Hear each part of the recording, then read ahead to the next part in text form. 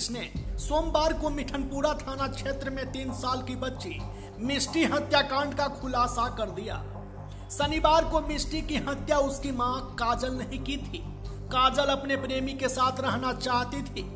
प्रेमी भी उसके साथ रहना चाहता था, पर वो मिष्टी के साथ नहीं रखना चाहता था।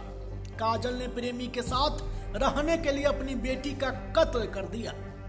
पुलिस ने प्रेमी के घर से काजल को गिरफ़्तार कर लिया है। सीटीएसपी अवधेश सरोज दीक्षित ने बताया कि आरोपी महिला ने अपना जुर्म कबूल कर लिया है। काजल अक्सर क्राइम पेट्रोल देखा करती थी। काजल ने इस सीरियल के एक दो एपिसोड में हत्या कर सब ट्रॉली बैग में फेंकने के तरीकों को देखा था। इसी से प्रेरित होकर उसने बेटी की चाकू से गला काट कर हत्या की। इसके बाद सबको ट्रॉली बैग में पैक कर घर की छत पर गई। काजल ने छत से ट्रॉली बैग को घर के पीछे फेंक दिया था। साक्ष्य मिटाने के लिए काजल ने छत और अपने कमरे को अच्छे से धो दिया था। इसके बाद वो घर से भाग गई थी। पर एफएसएल की टीम ने घर से कई सबूत बरामद किया और यह स्पष्ट हो गया कि काजल ने ही हत्या की है। काजल का फ़ोन शुक्रवार शाम से ही बंद था।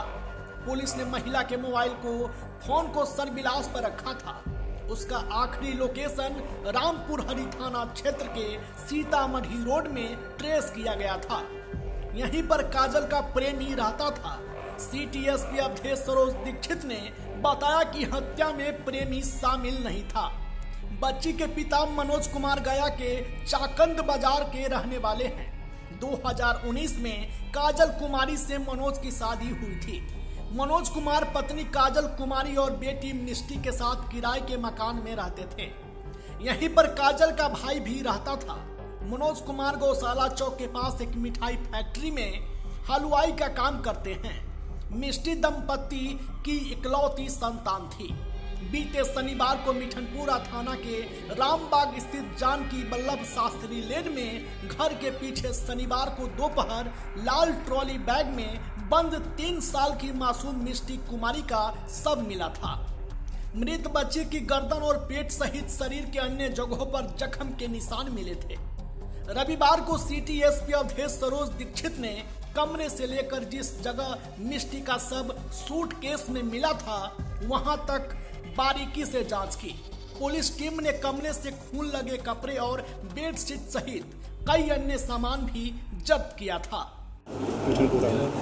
दिनांक चौबीस आठ दो हज़ार चौबीस को मिठनपुरा में रामबाग स्थित जानकी वल्लभ शास्त्री लेन है। उसके पीछे ही एक किराए के मकान में व्यक्ति रहते थे। तो उनके घर के पीछे एक सूचना मिला था कि एक डेड बॉडी डेड बॉडी मिला है और डेड बॉडी लाल कलर के ट्रॉली बैग में बंद था।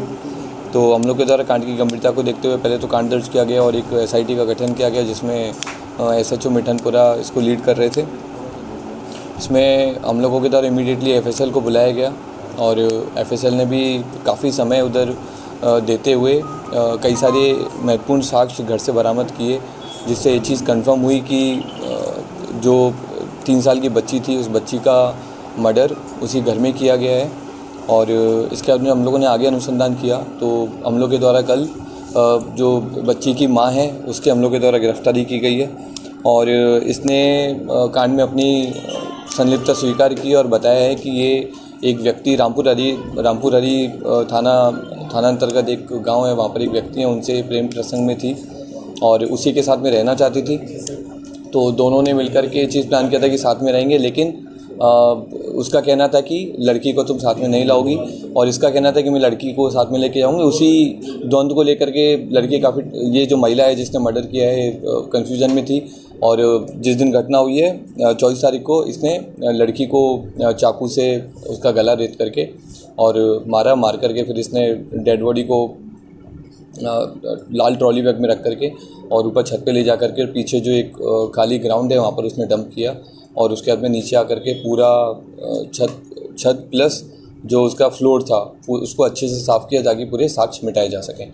लेकिन एफएसएल के द्वारा उसमें वहाँ पर कई अलग अलग जगह से ब्लड स्पॉट्स मिले हैं और इसके अलावा जो छत से भी हम लोगों को ब्लड स्पॉट्स मिले हैं और बेसिन वॉश बेसिन से भी हम लोग को ब्लड स्पॉट्स मिले हैं और वो जो चाकू है जिससे इसने मर्डर किया था उसको भी इसने धो दिया था तो वो भी हम लोगों ने रिकवर किया है।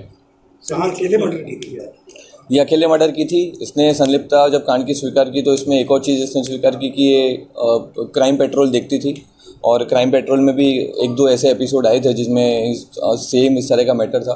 तो उसी से प्रभावित होकर के और इसको वो आइडिया आया था कि गला काट करके और इसमें जो बैग है बैग में डाल देंगे ताकि कोई पहचान नहीं पाएगा। कहाँ से गिरफ्तारी की गई? गिरफ्तारी इसकी रामपुर रामपुर अली थाना से की लड़का से कब से अटैचमेंट था इसका? कुछ पूछता ये पिछले एक साल से लड़के के साथ में इसका अटैचमेंट था। किसको? प्रेमी। अब प्रेमी का भी डिटेन नहीं किया है क्योंकि प्रेमी की हमें अभी तक भूमिका इसमें मारने में भूमिका नहीं रही है।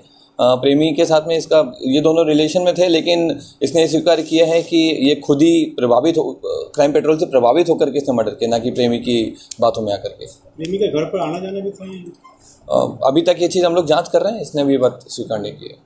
कुछ रिकवर्स भी हैं सर चाकू वगैरह चाकू हम लोगों ने रिकवर किया है और रूम से और पूरे फ्लैट से हम लोगों ने जगह जगह से ब्लड स्पॉट्स को और अलग अलग सैंपल्स को भी हम लोगों ने रिकवर किया है।